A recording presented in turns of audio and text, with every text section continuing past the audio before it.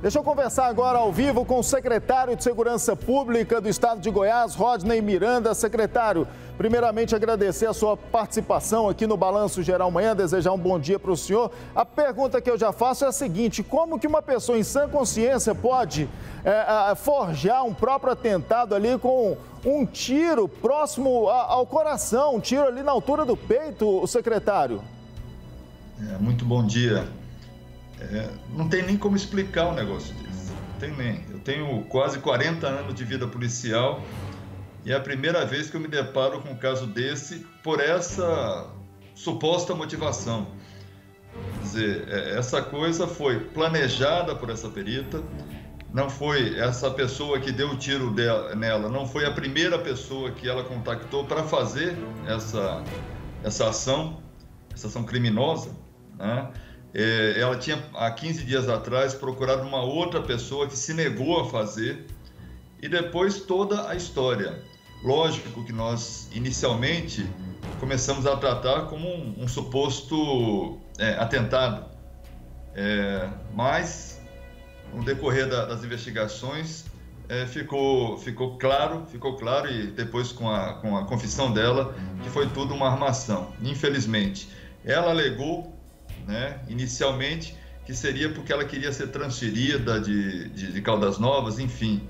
Mas até isso não bate, porque o processo de transferência dela já tinha sido iniciado. Ela pediu inicialmente para sair da chefia do posto. Nós atendemos, a Superintendência de Polícia Técnico Científica atendeu.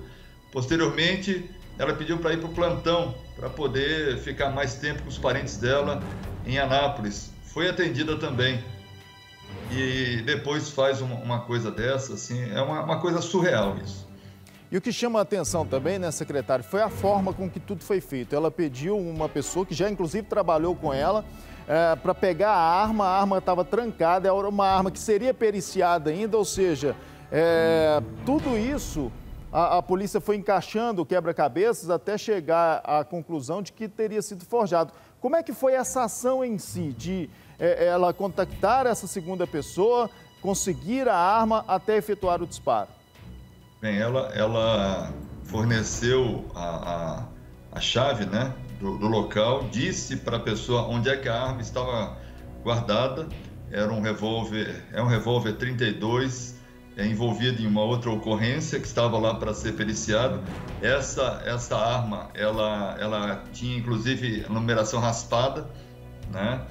Aí a pessoa deixou com munição, uma munição já pronta para poder fazer o disparo e depois orientou a pessoa, após a, a, o disparo, a deixar a arma no mesmo lugar.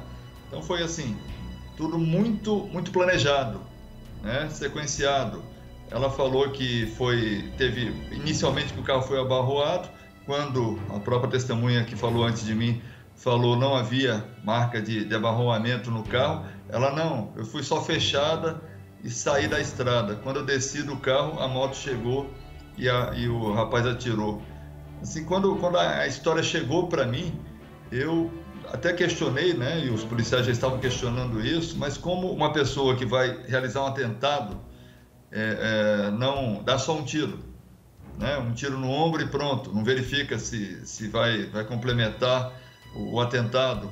Outra, será que não foi latrocínio? Não, latrocínio não foi. Não levaram bolsa, não levaram celular, não levaram veículo, não levaram nada.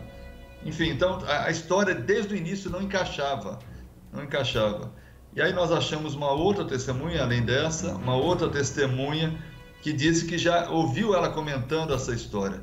A partir desta, nós chegamos a, ao, ao rapaz que que efetuou o disparo, que já tinha trabalhado no serviço de verificação de, de, de óbitos, é um serviço da prefeitura, mas muito ligado ao setor da, da perícia é, da cidade. E posteriormente é, confrontamos ela com a verdade e ela não teve como negar. Secretário, inclusive eu tenho no ponto agora um vídeo que ela gravou dentro do hospital ainda, né, pouco depois de ter sofrido esse suposto atentado, que depois a polícia descobriu que tudo não passou de uma farsa. Vamos assistir um trecho desse vídeo, que aí depois, é, é, complementando esse vídeo, eu gostaria de fazer mais uma pergunta. Secretário, roda aí, por favor. Apesar do que aconteceu, eu tô bem. Foi bem em cima aqui, não pegou nada vital, não pegou, pegou nada que deixasse em risco, eu tô fora de risco, tô estável, fazer mais alguns exames, mas tô bem agradeço mais. Preocupação de todo mundo, carinho, tô recebendo as mensagens, tá? Daqui a pouco eu tô de volta com vocês. Obrigada. Ou seja, quando ela gravou esse vídeo, a farsa ainda não tinha vindo à tona.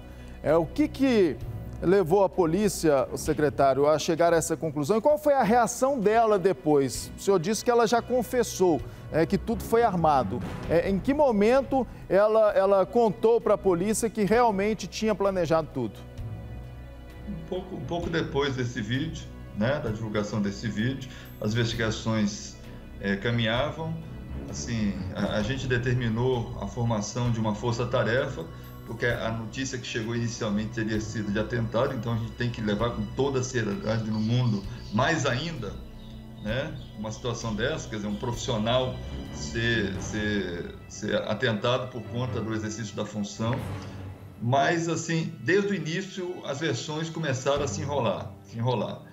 Depois de ouvir a, o, o, o atirador, é que o pessoal confrontou ela e ela não tinha nem o que fazer, como negar a, a, o, que também chama atenção, ela não era uma pessoa é, com pouco tempo de casa, já tinha mais de cinco anos como perita e mais um, cinco ou seis anos de escrivã de polícia, quer dizer, ela estava ela estava bem ambientada no serviço policial, né? Uma perita, quer dizer, acostumada com o local de crime, assim, como, como é que faz uma coisa assim amadora desse jeito? Que foi amador, foi amador por mais que ela tenha planejado, Sim, nós chegaríamos à, à, verdade, com certeza, até por conta da, do padrão de excelência dos nossos profissionais de, de, segurança pública e ela bem sabe disso.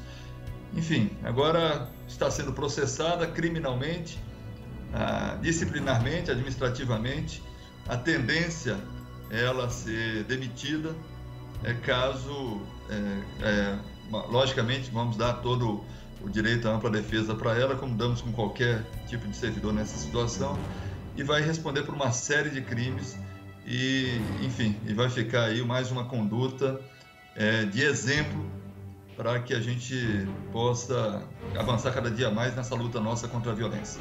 Secretário, a falsa comunicação de crime, o uso é, irregular aí dessa arma de fogo, uma arma raspada. Inclusive, é, é, o uso dessa arma também certamente vai atrapalhar na investigação da ocorrência de fato mesmo que essa arma esteve envolvida da primeira vez, já que a arma seria periciada ainda. Ou seja, outros crimes também que possam ter sido cometidos por essa perita. Ela, além de perder o cargo no, como servidora do Estado, ela pode ser presa também e a pessoa, esse homem que efetuou o tiro, que aceitou o pedido dele e também se envolveu nessa farsa toda, ele pode responder de alguma forma? Os dois vão responder praticamente pelos mesmos crimes.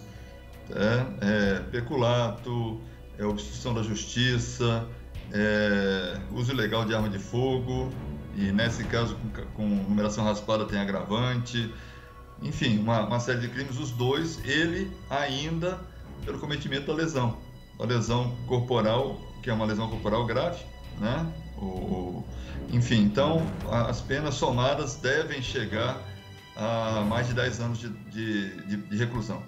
Então Nossa. vamos agora entregar tudo para o Ministério Público, para a Justiça e o procedimento administrativo já foi instaurado e vamos dar celeridade nele, até porque assim ou, é, foi também uma, uma, uma tentativa de colocar em xeque o nosso trabalho e nós não vamos permitir isso de quem quer que seja. É um caso que chama muita atenção pela forma com que aconteceu, né, secretário? Ah, qual que é o histórico dessa mulher? Só para a gente encerrar, o histórico dela dentro da Polícia Civil. Nenhum problema, nenhum problema, nenhuma reclamação.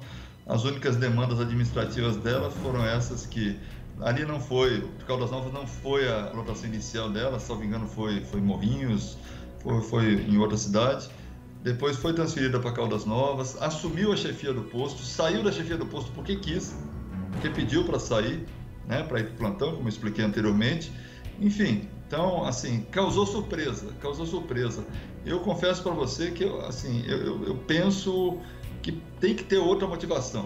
Tá? Isso a gente vai ainda investigar um pouco mais, né? porque tem que ter outra motivação, porque só essa de, de, de uma transferência que se daria, pode, pode, poderia até demorar um pouco mais, porque nós estamos prestes a abrir um concurso público, e, e, nesse concurso, certamente, ela e outros que estão com necessidade de remoção podem ser substituídos os seus locais para outros locais que, que desejarem prestar seu serviço.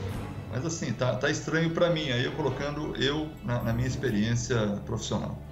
Secretário, é, então podemos ter novidades nesse caso ainda, a polícia segue investigando. Só mais uma pergunta então.